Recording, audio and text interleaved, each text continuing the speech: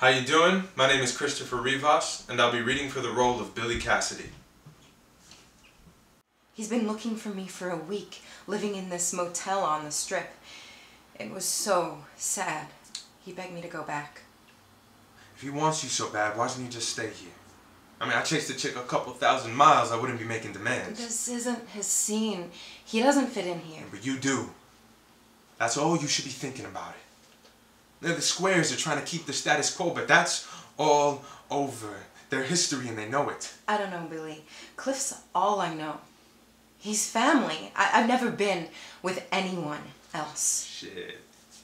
He's all you know, then you don't know anything. And any guy that wants you to go backwards and not forwards is playing the wrong note. That, that's how I see it. Look down there. It's all happening right here, right in this place. Look at all those lights. And they're like diamonds waiting to be plucked. How you can be begging for a spot at the True on Monday and a couple weeks later your song is on the radio. And people halfway across the world are listening to you. People that you grew up with are listening to you.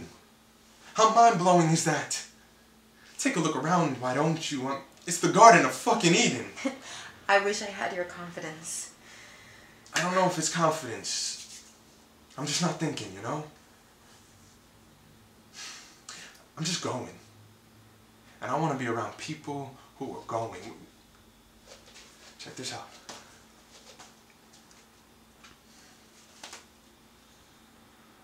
The only people for me are the mad ones. The ones who are mad to live, mad to talk, mad to be saved, desirous of everything at the same time. The ones that never yawn or say a commonplace thing but burn. Burn. Burn like fabulous yellow Roman candles exploding like spiders across the stars. Woo! Can you dig that? Now my pops is a preacher, but this right here, this is the Bible. This is the book of life. I didn't know your father was a preacher. Yeah, and we don't know anything about each other yet. And if you're the kind of chick who makes it all the way to the edge and then turns around, maybe I don't want to know you. But I don't think that's the kind of chick you are. If I stay, my father will never speak to me again. Nobody back home will. Cliff told me as much. That's the kind of weight they try to lay on us to keep us down. You know, I got that same rap when I came out here. You're a boy. It's not the same thing.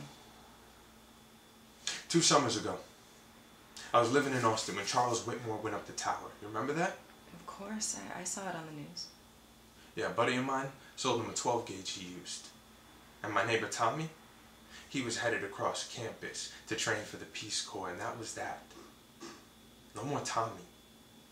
That's the kind of world we live in. People are killed on the way to school. People get shipped off to places they don't even know, and they never come back. It's all happening. We gotta live right now. We gotta burn right now. So you wanna go home and play housewife, or you wanna shine? Me? I wanna fucking shine.